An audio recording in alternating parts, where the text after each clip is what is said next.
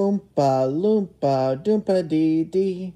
Wonka's on HBO next week.